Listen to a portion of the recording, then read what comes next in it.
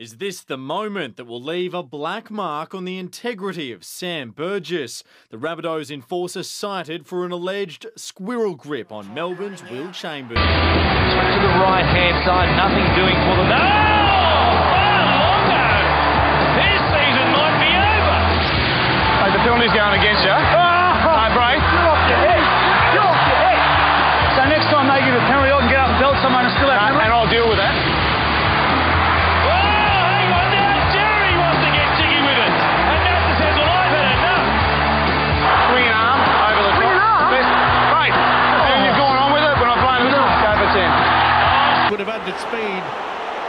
There's been a bit of a back slap there.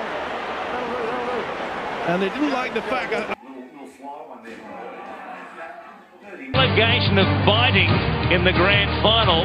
James Graham oh. is the player involved in the wrestle. Graham survived being sent off. player John Hopoate, who literally gave the other team the finger. Winger poked rival players in the backside.